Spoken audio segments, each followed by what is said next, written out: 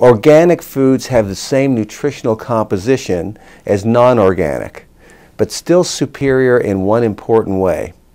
Hi, I'm Dr. James Meschino. You know, there was a study published in the Annals of Internal Medicine in 2012. It showed that organic produce does not have higher levels of vitamins and minerals than produce grown in soils with synthetic fertilizers. It's a bit of a shock finding to some degree, but organic foods contain significantly less pesticide content.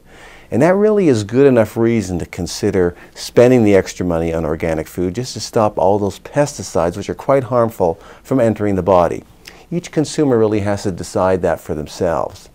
But the study also showed that organic milk may have slightly higher levels of omega-3 fats. But what's important to me is this study that was published in 2011 in the New Zealand Health and Wellness Report. It published what's called the Dirty Dozen list, showing the 12 fruits and vegetables containing the highest amount of pesticides. These are probably the ones we should avoid. And it listed them in sort of descending order from the highest pesticide content down to the lowest of the 12 most incriminated fruits and vegetables.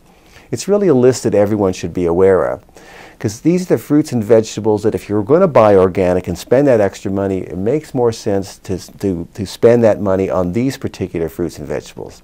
So to see a, a list of the dirty dozen list, um, I would suggest you click on the link below and uh, you'll see my short review article on the dirty dozen list as well as sort of the non-organic versus organic uh, study in the Annals of Internal Medicine.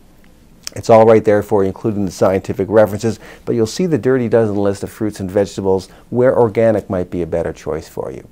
Now, at meschinohealth.com, you'll see my other research review papers. You'll see footage from my live professional seminars, other downloads and videos and resources I've created. They're all there for free to help you lead a long, healthy, functional life. All my teaching materials and the research materials have all the scientific references in them, so you'll see you're getting evidence-based information from me on any health topic that you're looking for. So you should use meschinohealth.com as an ongoing reliable resource of health and wellness information for both you and your family. Thanks so much for watching.